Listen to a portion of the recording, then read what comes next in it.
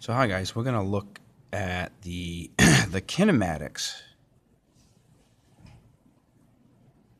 of circular motion. Okay, kinematics of circular motion. Yes, kinematics has not gone away. Um, we're just going to apply it to situations where things are traveling in circles. Um, so if we give an example of the Texas Motor Speedway, the uh, the NASCAR drivers go around uh, traveling about 200 miles per hour, um, and then we need to know like what's happening with their acceleration if, as they're entering a corner. Is the car accelerating? Okay, so as I said earlier, that an object that's in uniform circular motion, if it's motion in a circle constant radius at a constant speed. So the idea is that, and I'll draw a picture here. I'm going to make this make it large.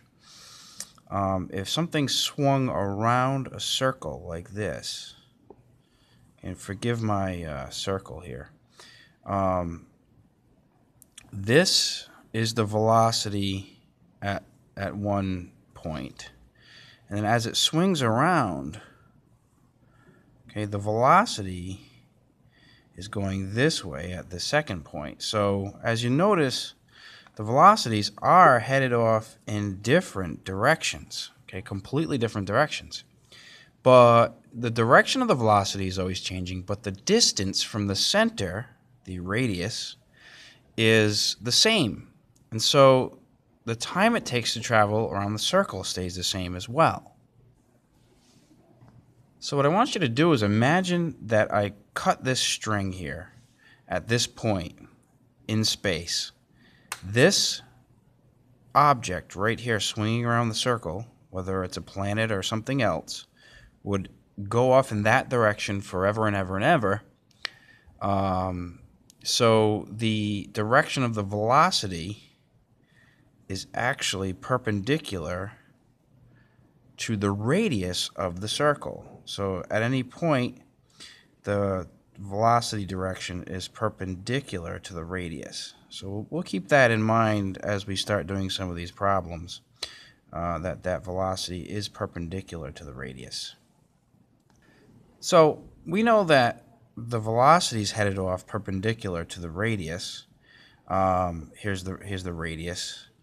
Uh, but how do we know like which direction the string is pulling. Okay, or gravity, if you will. Uh, the string is actually pulling towards the center. So in this situation, the string is pulling this way. In this situation, the string is pulling this way. So we're going to call that the acceleration of the string. So the string is applying a force toward the center. So there must be an acceleration toward the center of the circle. And we can relate that to when Newton was sitting next to the apple tree and he saw the moon and he said to himself, there's got to be some force applying uh, to the moon from the earth that pulls the earth towards the pulls the moon towards the earth. But then there's also that velocity which keeps it in orbit. So when we're looking at this acceleration, we can actually come up with a formula. Uh, this acceleration is called the uh, centripetal.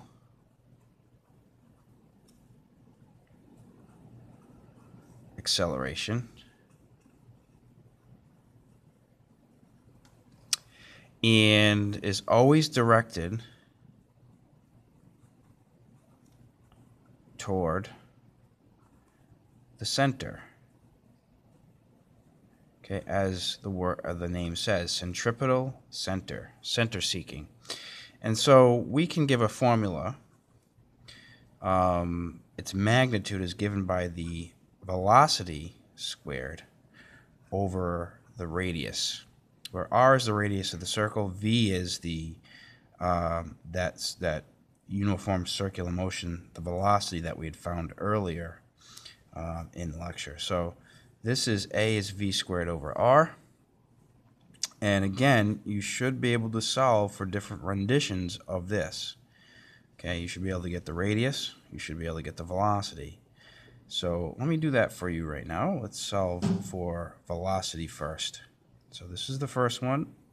Uh, so velocity squared is equal to acceleration times the radius.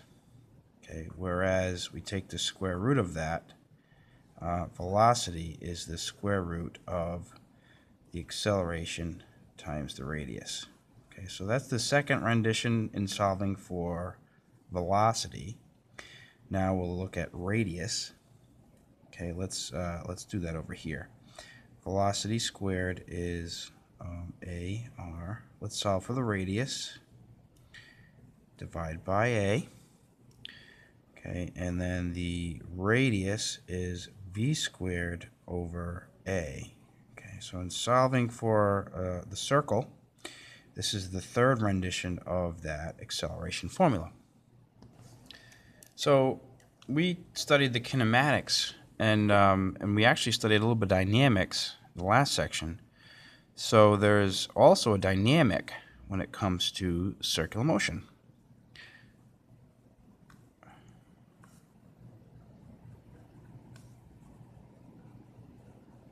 And we remember dynamics talks about the forces involved uh, with uh, objects, so forces. The um, for an object to be in uniform circular motion, there must be a force acting on it. So here's our picture again. Try to draw it a little bit uh, better. Okay, we know that if it's accelerating at this point this way, that there must be a force acting in that direction as well. So we're going to give you a formula that give that relates the force and the acceleration, uh, and we know already that the force is equal to the mass times the acceleration. So acceleration we just defined in the last uh, last minute or so is uh, v squared over r. So if I clean this up a little bit, the force involved in pulling something in is mv squared over r. Okay, and in this case, you'll also have to look and solve for um, mass, velocity, and radius. Okay, and um, I'm going to do that for you right now. Okay, so let's solve for F equals mv squared over r. Let's solve for uh, mass first. So, where r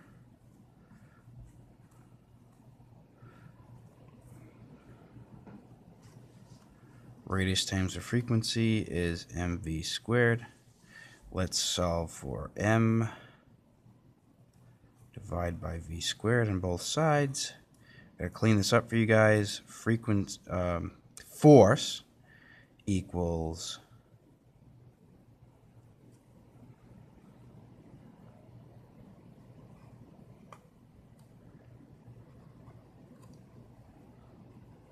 Yeah, I'll just switch this around.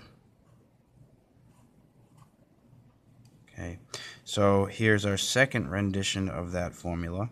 Mass is equal to the radius times the force over velocity squared. So that's the second rendition. Okay, let's look at the, um, the third rendition.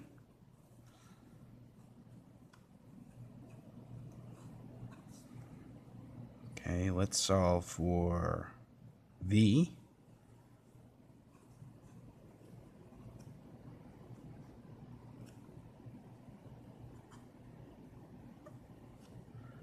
Divide through by m.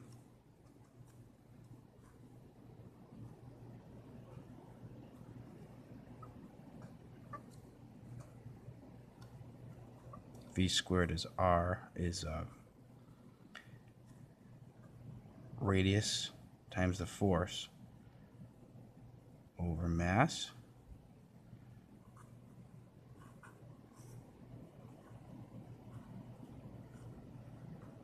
Okay, there's the third rendition of the formula. Okay, where we're looking at solving for velocity. The third one I'll put on the on the next slide here. Okay, now we're solving for radius.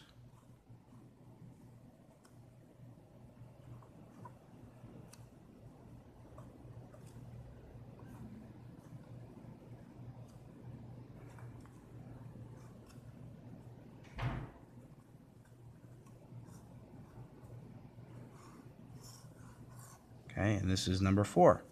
Radius is the mass times velocity squared over the force. You'll have to use all of these in solving for problems in the dynamics of circular motion. So if you've ever been driving in your uh, in your car, your parents' car, you'll notice that if you like go down into a dip, you feel it in your stomach. Um, well, that feeling is actually part of what we're talking about here in circular motion because um, let's say um, we had a road that kind of dipped like this and then back up. Um, this dip actually is part of a larger circle um, with a radius. And um, the car, if we draw the car, you know, if it's down here, um, actually, let's make it closer to the bottom. So if it's down here, okay, it's going to feel uh, an apparent weight change uh, based on the fact that you are now in circular motion when you're going down um, that dip. So let's say we have a car that's traveling at a velocity of 20 meters per second. Um, and then the mass uh, of the of the driver, we'll say, mass of the driver is uh, 60 kilograms. Okay, and then the radius of the dip, that's this. So we'll call that, also we'll call that this, is um, 80, we'll say 80 meters. Um, we want to know what the, the weight, the apparent weight of the driver is uh, right here. Because we know that something happens where you feel that in your stomach when you go down the hill and you reach the bottom of the hill, you feel that a weight change. So we want to know what that apparent weight is. So what I would do is draw a free body diagram and indicate the direction of the acceleration. Okay, so um, I've got my, my units here. I've got a diagram labeled here. Okay, and at this point, okay, I've got mass times gravity. I am accelerating actually this way and there's also a uh, normal force pushing up in this direction. So they're all parallel with each, they're all in line with each other. So I'm not figuring out any angles. I'm just looking at a straight line here. Um, and then like if I were to look at uh, the axes, okay, the dotted lines would be the axes. So we've, we've got weight, we've got, um, and then we've got the normal force, okay, here. Okay, and so we know that force is mass times acceleration. Okay, so we're going to apply that to what we're, we have for forces. So what we've got for forces in here are the mass times gravity and then the normal force. Okay, so we've got this. Uh, normal force minus mg. Okay, that's what this is all about. Equals mv squared over r because that's uh, v squared over r is the acceleration in a circular uh, problem. So if I just, if I'm solving for the normal force, the force that you feel on your seat pushing back up, okay, I'm going to bring that over here. Um, normal force equals mg plus mv squared over r.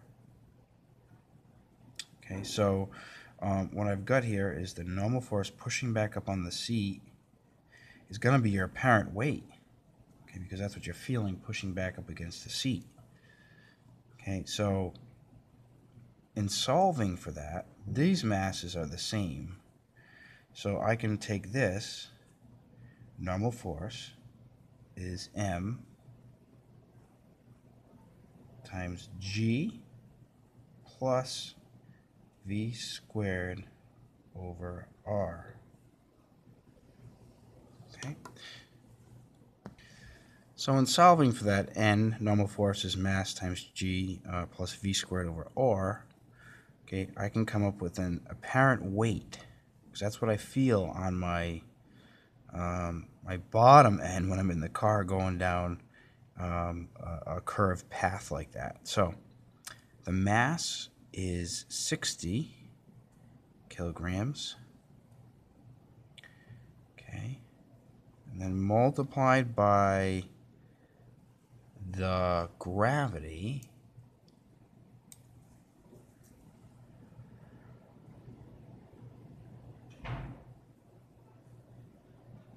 plus the velocity squared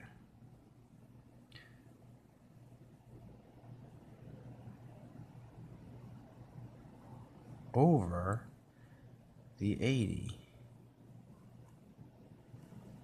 Okay, so in solving for this, the normal force is equivalent to 888 newtons.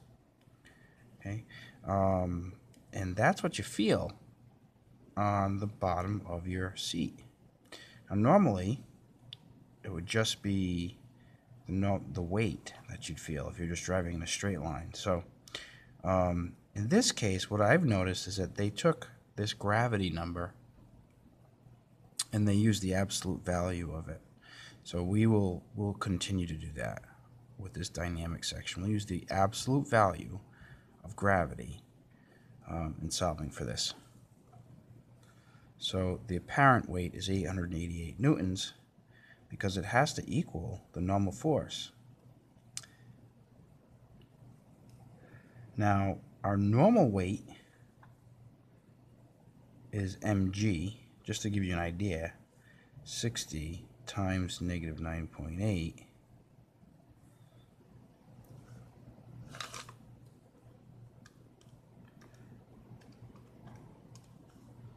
is uh, normal weight is 588 newtons okay down okay? And then um, you can see there's a quite a difference there. There's about 300 newtons of force difference okay